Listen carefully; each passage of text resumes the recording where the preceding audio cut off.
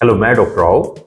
आज हम डिस्कस करेंगे दो मेथड्स ब्रेस्ट का साइज़ इंक्रीज करने के लिए। देखिए, पहली बात मैं आपको बताना चाहता हूँ, ये वीडियो शुरू करने से पहले आपको बहुत ऐसे चैनल्स मिल जाएँगे या ऐसे वीडियोस मिल जाएँगे जिसमें कहेगा कि किसी मेडिसिन से ब्रेस्ट का साइज़ इंक्रीज हो सकता है। बिल्कुल भी नहीं हो सकता। ब्रेस्ट का साइज़ किसी मेडिसिन से किसी क्रीम लगाने से इंक्रीज नहीं होता। ये आप ऐसे समझ लीजिए। अगर सपोज़ आप वो मेडिसिन लें तो उसको कैसे पता लगेगा कि उसको ब्रेस्ट का साइज़ इंक्रीज करना है? वो पेट का साइज़ भी इंक्रीज कर सकती है हिप्स भी इंक्रीज कर सकती है आर्म्स भी फैट बढ़ा सकती है। तो ऐसी कोई मेडिसिन या क्रीम नहीं होती। क्रीम कुछ इस्ट्रोजन क्रीम आती है, लेकिन वो बहुत मिनिमल इफ़ेक्ट डालती है। फिर भी अगर आपको लगता है तो आप उसको यूज़ करके देख सकते हैं, क्योंकि उसका नुकसान तो कुछ नहीं है, लेकिन आपको ये पता लग जाएगा एक तरह का क्योंकि हर आदमी ये चाहता है कि बिना सर्जरी के वो ठीक हो जाए। लेकिन अगर जो दो इफ़ेक्टिव मेथड है ब्रेस्ट को इंक्रीज करने के, वो दो हैं। One is breast fat grafting आज हम उनके फ़ायदे और नुकसान, और दूसरा ब्रेस्ट इम्प्लांट तो दो चीज़ हैं।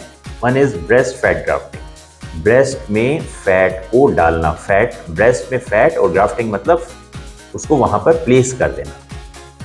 कहीं और से आपने फैट लिया और उसको ब्रेस्ट में डाल दिया। और दूसरा है ब्रेस्ट इम्प्लांट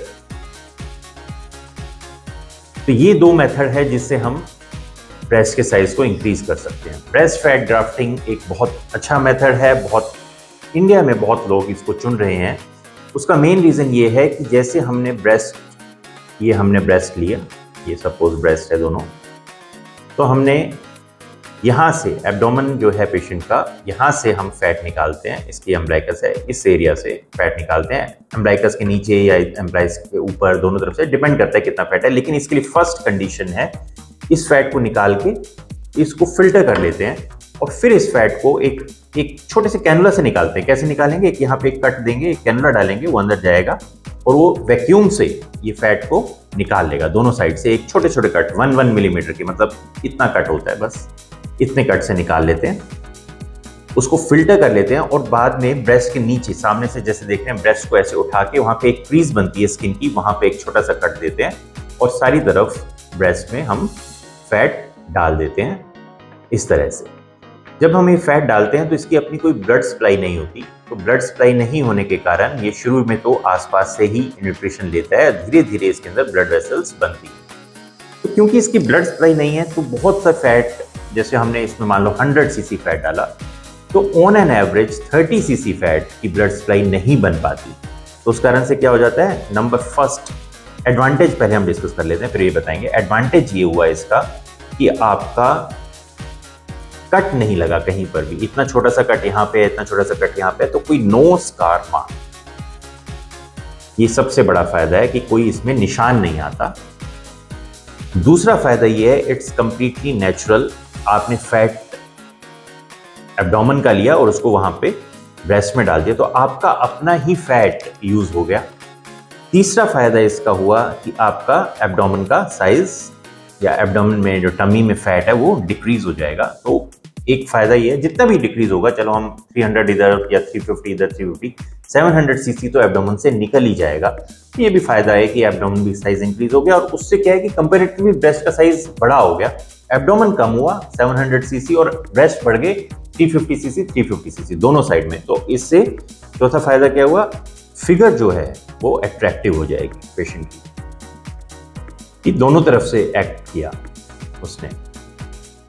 पांचवा इसका है कि कोई बैंडेज नहीं no bandage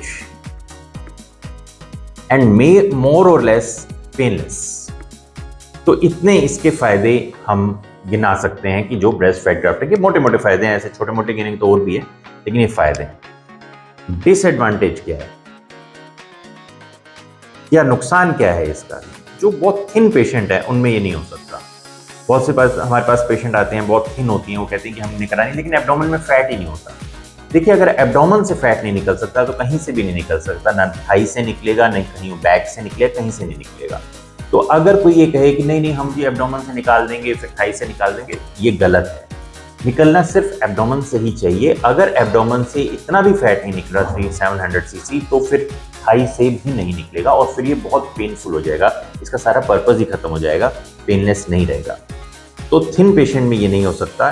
दूसरा डिसएडवांटेज है एब्जॉर्व हो जाता है फैट थर्टी परसेंट तक थर्टी परसेंट क्यों एब्जॉर्व हो जाता है? मैंने बताया था कि यहाँ पे हमने फैट निकाला, डाला, उसकी ब्लड सप्लाई नहीं है तो आसपास से ब्लड सप्लाई बनने में थोड़ा टाइम लगता है।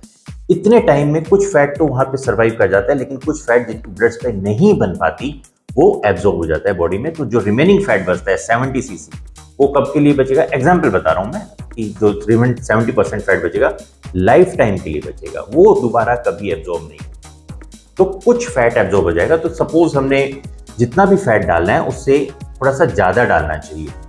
लेकिन इसमें एक और बात है कि इसमें आप अपना मन चाहा जितना आपको चाहिए कि मेरी ब्रेस्ट को बहुत बड़ा कर दो, इतनी बड़ी नहीं हो सकती इम्प्लांट के मुकाबले। क्यों? क्योंकि फैट की जैसे कोई अगर आप ग्लास है, उसमें आप फैट डाल रहे हो या कुछ पानी डाल रहे हो तो एक लेवल तक ही उस ग्लास को भर सकते हो, उसके बाद उसके अंदर से पानी बाहर निकलने लगेगा। तो इसमें भी जब हम ब्रेस्ट में फैट डालते हैं तो एक लेवल तक ही फैट जाता है, उसके बाद वो ओवरफिल ओवरफ्लो करने लग जाता है। तो वही उसका एंड पॉइंट होता है। तो ऐसे पेशेंट्स में एक लेवल तक है तो इसका मतलब इसमें हम इम्पैक्ट जो साइज़ इंक्रीज कर सकते हैं, वो इतना नहीं कर सकते जितना size increase is less as compare to breast implant breast implant के मुकाबले इसमें कम साइज़ इंक्रीज होता है। और लेकिन फ़ायदा ये है कि इसको आप रिपीट भी कर सकते हैं सिक्स मंथ अगर आपको ज़्यादा साइज़ चाहिए और आपने इम्प्लांट कराना ही नहीं तो आप इसका साइज़ देखें छः मंथ वेट करें और छः मंथ बाद इसको रिपीट कर सकते हैं। अगर आपकी बॉडी में फैट है तो, तो उसका दोबारा फ़ायदा होगा कि एब्डोमन और कम हो जाएगा और ब्रेस्ट और बड़ी हो जाएगी। तो एक फ़ायदा नुकसान दोनों तरह से मान सकते हैं इसको। लेकिन फिर भी हम एक बारे में ब्रेस्ट इम्प्लांट जितना जैसे ब्रेस्ट इम्प्लांट में जो मैं बताऊँगा आगे आप मनचाहा साइज़ ले सकते हैं, लेकिन इसमें साइज़ की एक लिमिट होती है, क्योंकि एक कैपेसिटी तक ही फैट ब्रेस्ट के अंदर जाता है, उसके बाद वो जाना बंद कर देता है। तो मान लो 100 सीसी चला गया 100 सीसी कैपेसिटी थी, लेकिन 30 परसेंट तो एब्जॉर्ब हो गया ना तो फिर दोबारा थोड़ी खाली हो जाएगी ना ब्रेस्ट इसलिए हम बता रहे हैं कि इसमें जितना डाला जाता है, वो थोड़ा सा कम हो जाता है। चौथा इसमें यह है कि अगर इसके बाद आप कभी भी अल्ट्रासाउंड या मेमोग्राम या सिटी स्कैन कभी आपको कराना पड़ेगा तो आपको फैट के अंदर, ब्रेस्ट के अंदर फैट दिखाई देगा। क्योंकि जो हमने डाला है, वो दिखाई देगा। तो जो डॉक्टर होगा वो अपनी रिपोर्ट में लिखेगा कि हमें यहाँ पर कुछ फैट दिखाई दे रहा है, जो कि बिनाइन है, लेकिन फैट की गांठ दिखाई दे रही है। तो उससे उस वक्त ना घबराएँ, इसलिए आज ही हम शुरू में ही बता रहे हैं कि ये फैट दिखाई देगा तो आप हाँ कह सकते हो डॉक्टर को कि हाँ मैंने ब्रेस्ट फैट कराया था। लेकिन अगर ये नहीं बताएँगे तो आप उस वक्त घबरा जाओगे। शायद इस कारण से गांठ बनी गांठ नहीं बनी है। और हमने जो ब्रेस्ट फैट डाला है, वो हमेशा दिखाई देता है जब सिटी स्कैन मेमोग्राम वगैरह होता है, क्योंकि वो वहाँ पे जगह जगह पे सेटल्ड होता है। तो वो दिखाई देता है ब्रेस्ट में। तो ये आपको पता होना चाहिए।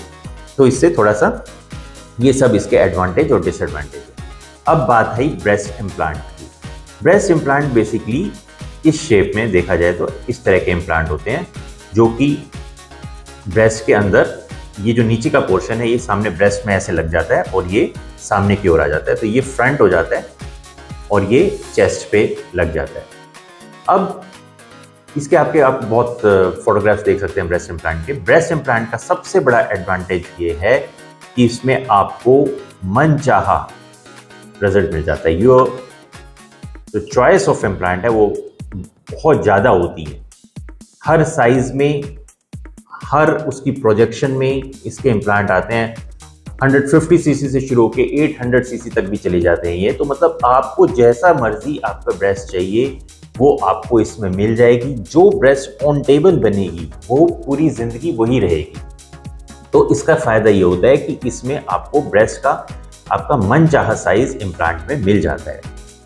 दूसरा इसमें जो है फ़ायदा ये है कि जो इसमें स्कार लगता है, जैसे ये ब्रेस्ट है, ये हमने ब्रेस्ट बनाई तो इसके नीचे स्कार आता है, यहाँ पे एक स्कार होता है, ऐसे यहाँ पे स्कार होता है तो वो बेसिकली स्किन के क्रीज में चला जाता है वो स्कार और वो दिखता नहीं है, और अगर फेयर स्किन है तो वो बिल्कुल ही छह महीने के बाद गायब हो जाता है, वो दिखना बंद हो जाता है तो इसलिए स्कार इज़ नॉट विजिबल ये इसका, इसके मुकाबले डिसएडवांटेज है कि स्कार तो पड़ता है, लेकिन ये बात सही है कि वो बहुत ही मिनिमल स्कार होता है, दिखता नहीं है।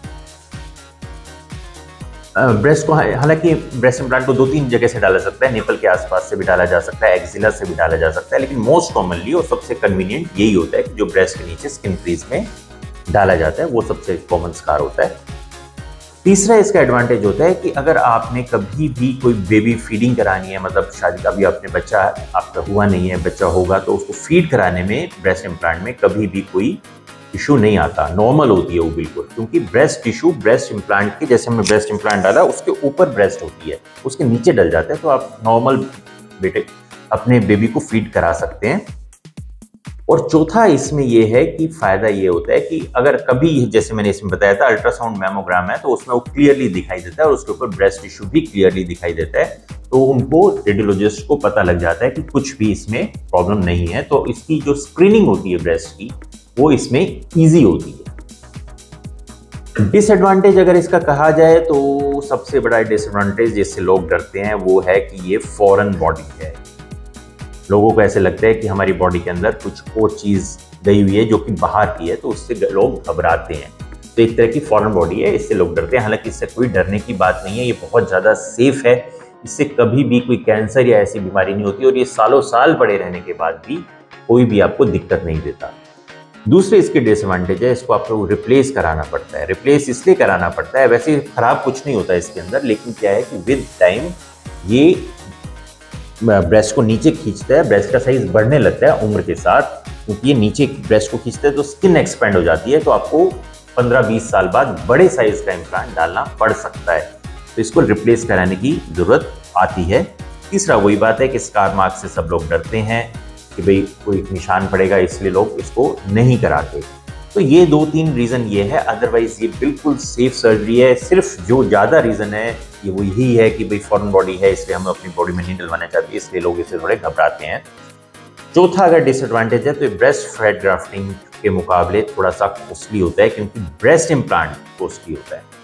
जो भी ब्रेस्ट इम्प्लांट डलवाएँ, जब भी आप ब्रेस्ट इम्प्लांट डलवाएँ, ये मैं बताता हूँ, हमेशा यूएस या ईयू यूरोपियन यूनियन में जो वहाँ के जो इम्प्लांट होते हैं, वो ही यूज़ करें। मोटिवा सेबिन ये अच्छे इम्प्लांट है कि आप सिर्फ़ इसी कंपनी का यूज़ करें, उनके साथ गारंटी कार्ड मिलता है और वो 10-10 साल की इनकी गारंटी होती है कि कुछ भी होगा तो कंपनी इसको फ्री ऑफ़ कॉस्ट रिप्लेस करेगी। कभी भी घटिया क्वालिटी का चाइनीज़ कोरियन ये इम्प्लांट यूज़ ना करें।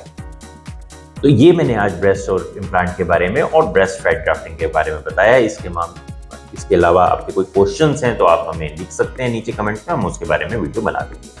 आपने अपना टाइम दिया उसके बहुत बहुत धन्यवाद। Thank you